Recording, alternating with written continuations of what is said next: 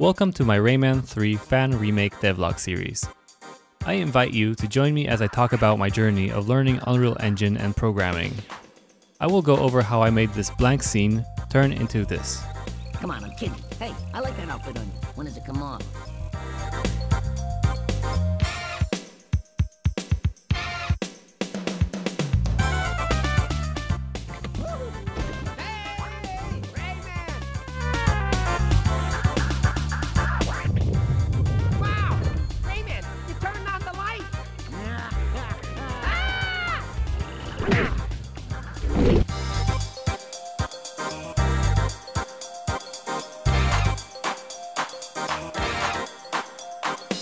I'll be showing the models I've made, C++ code, and blueprint code.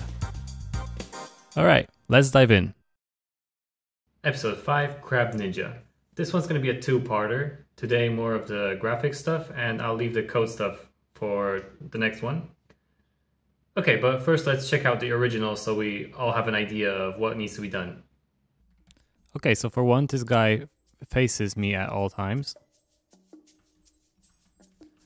When he unsurfaces, he throws his stars and then goes back underground. So his attack consists of two star projectiles that arc, one to the right and one to the left. He seems to unsurface when I move out a certain distance from him. Although this seems a little annoying how he'll never come out if I wait for him. So maybe I'll just make a timer so he'll unburrow always after a set time. I can always easily change this to make him unburrow when I move away if I have to. Okay, I think we can get back to the remake now. So just like with the Rayman model, I have the original Crab Ninja model with all the animations over here. As you can see, the UV map is pretty messed up, but that's no problem. It's not like I was gonna use it anyway. So as per usual, I took the base into ZBrush as a sculpting guide. I wish I had some kind of time lapse of making this thing, but well, I'm just have to gonna go for the usual. The biggest change I think I made are those antennas, as I really don't know what those flaps in the original are. Let me move the camera a little bit here to show off the detail that I made. For the sculpting brushes, I pretty much use the same thing as for rock and wood and stuff, except I use a lot of the move brush when making characters. Sometimes I like to turn on AccuCurve for move brush when I want some kind of more pointy details. As for topology goes, I was very lazy here and just decimated my model to around 19k triangles. I know this isn't even close to being called good topology, but well, you know, this this is not a main character and you'll never really see him up close in game. So there's just no way anyone will ever notice any bad deformation here. And taking into account that I'm doing this whole thing solo, I want to cut corners wherever I can. Let me fast forward a little bit and show you how the animations look on this bad topology model. In my opinion, there's really no way to tell there's something wrong here. If you're wondering why I'm suddenly doing retopology at all, that's because Nanite doesn't support um, skeletal meshes. So anything that you can move using a skeleton. Okay, so first I copied the vertex weights for the skeletal deformation from the original model to my model using a data transfer modifier. And then I laid out my UVs. I used Marmoset to bake out my maps from the high poly to low poly for texture painting. And then I paint the whole thing in Substance Painter. I'll go here kind of layer by layer to talk about my process for texturing stylized models like this. So I started with some kind of base color that's more for the inside of the crab than, than the shell itself. And then I add some variation to it, some kind of noise. I also introduced this yellow spots using the curvature. Then I add some kind of base color for the shell. And just with, like with the inner part, I start adding variation. So first I make some kind of yellow curvature. Then I start with some kind of noise, some orange spotty patterns. Then I added these kind of bright spots where I imagined the shell would scratch itself a lot against different surfaces. And then there's a layer for these darker spots. So I'm basically adding more color variation. And for the roughness, I kind of made this roughness base made out of just a Perlin noise. Let's go into the roughness channel. And then added the grunge to kind of sell this kind of wetness of a crab shell. I also added a layer that kind of emphasizes the cavities. For the eyes, again, a base color for the pupils and these I painted in these veins to kind of make it more angry. And then I painted in the pupil highlight by hand. Also for the eyes, I add this kind of fake ambient occlusion using this kind of dark bluish color. Now for the shell, again, a base color. Then I kind of try to sell the shell translucency by adding this kind of salmon color on the edges and add in some color variation using some noise, a little dirt spots, and then kind of similarly for the roughness. First kind of a global noise and then some and then a different one to mix them together. And for the outer shell, again a base color. We can go back to the inner shell. Uh, I added this kind of darker color where these two parts meet. And then I wanted to make these kind of lines, so first I add these darker lines on the shell, then brighter ones, then white ones, and then a couple ones that go perpendicular to those lines. I made these lines by using an anisotropic noise, blurring them and blur warping, and again a edge highlight. And then the roughness, using grunge maps again, And then we have the star left, base color, edge highlights, some kind of noise to give it a little more realism, but not too much since I want to keep it stylized. Some more color variation, and then roughness breakup.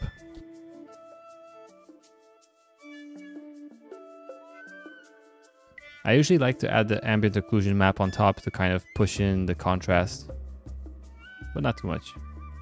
And here we have him in Unreal Engine. I'm actually really happy with how he turned out. By the way, if anyone's wondering about LODs, I just let Unreal Engine generate them for me. I also imported the star by itself to act as a projectile for later. So I got the crab, but I don't have an enemy. Let's start by making a C++ class again. This time I chose the character class because it has these two built-in functions, line of sight and set focus, which can easily handle the crab's looking at player behavior However, looking back at this, I think the character class is very much overkill here, as these two functionalities I could easily create even if in an actor class, not even a pawn class. But let's stick with the character class because I'm too lazy to change this. While I'm at it, I'll also make a C++ component that's going to be the health component. This way, whenever I need something to have health, I can just add this component to it in the blueprint and not make it from scratch every time. For now, all I need this health component to have is a max health value that I can set in the blueprint and a current health value. And in begin play, I just set the current health to be the max health. So in my crab enemy class, I'm gonna have a projectile spawn component that's gonna be just a location for the projectile to spawn from and the health component we just made. I don't need to add a capsule component for collision and the skeletal mesh component for the mesh since this is already there in the character class. So I made a new blueprint from my crab enemy class and as you can see it has all the components that come with the character class. So a character mesh, an arrow component and a capsule component and a character movement component and here are also my components so the health component and the projectile spawn component which I placed somewhere over here in front of the crab. Also if I select the health component you can see that I can set the max health for the crab and the current health is grayed out as this is not editable, as it shouldn't be. I also promised to go over the animation blueprint in this video, so I think we can do that now. So here we are in the animation blueprint now. And here's my state machine for the crab. If we go inside, I have this state that's way underground over here. And this is just the animation that's the crab being underground. Let's go back now. And then we have a transition from way underground to surface. So when I go into surface, basically this is a surface animation. This one over here.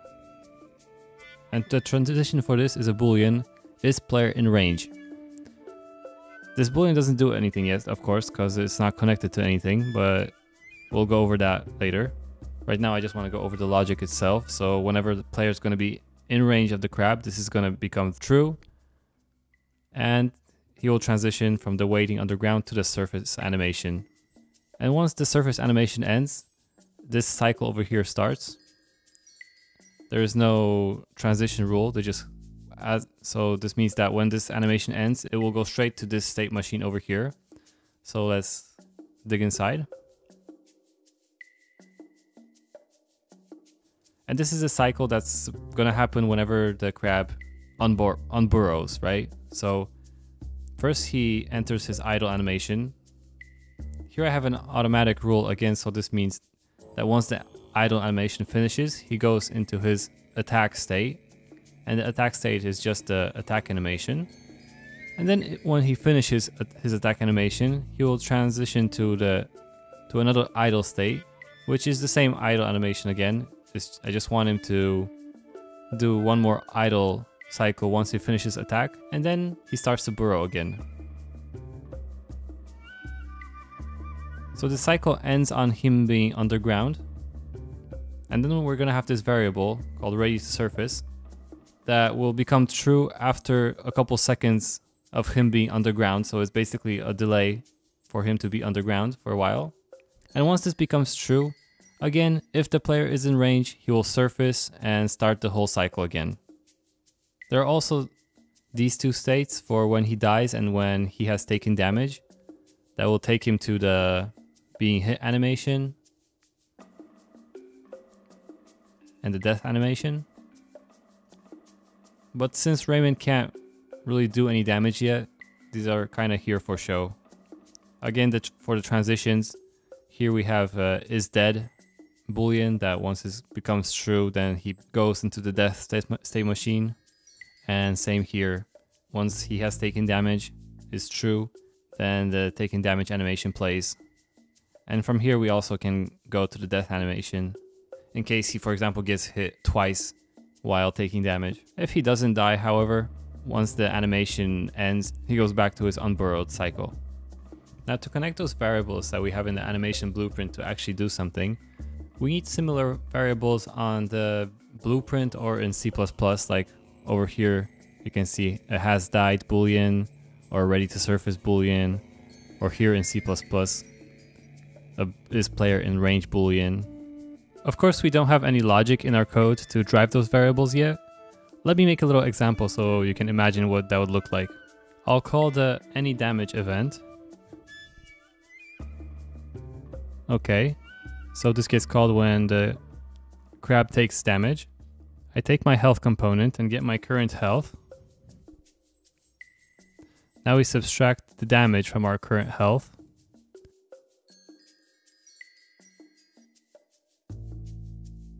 and we check if our health is less than zero. I'll make a branch now. And if that is the case, I'll set has died to true. So now all we need is for the animation blueprint to use this has died variable to determine whether we should play the has died animation or not. And then to set these variables in the animation blueprint, we need to go into the animation blueprints event graph. Here we can try to get the pawn owner, which means that the owner of this animation blueprint, so in our example this is the crab. And then we need to cast to a BP crab. What this means is that we're kind of telling Unreal Engine that this pawn is a crab. And if we're right, then we can go ahead with the logic. And if we're wrong, we'll just get a cast failed. So we, once we have our object as a BP crab, we can reference variables from the BP crab, for example, has died. We can use that to set the animation blueprint's local is dead variable. And now the animation state machine will know that is dead is true, so it can go from the unburrowed cycle state to the death state. Okay, let's change the topic a little bit and talk about the star projectile. Okay, so I want to make the star to be spinning around while it's flying at the player, and the best way to do this is in the shader.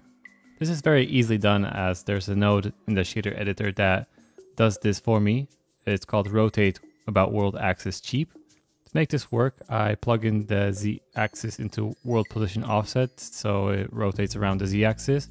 And for the rotation amount, I plug in the time and multiply it by some kind of amount to make it rotate faster. One thing to know, when using this node, you also need to use the fixed rotate about axis normals node. Here you also plug in the rotation angle, the same one that I plug in my rotate about world axis cheap. And for the rotation axis, I choose the z-axis by making a vector with x and y at 0 and z equal to 1. I also added an option to mask the rotation through vertex color.